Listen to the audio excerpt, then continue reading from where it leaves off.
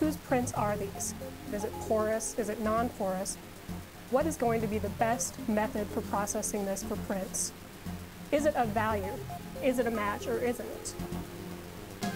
Whose prints are these? What is a latent fingerprint? Well, actually a latent print can be from your fingers, from the palms of your hands. It's what's called friction ridge skin. It's got ridges and furrows, and those patterns are unique to an individual.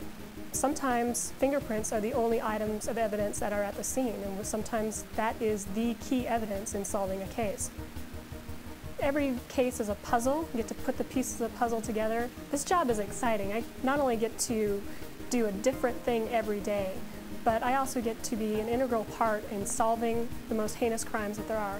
My name's Tanya Lee, and I'm a scientist.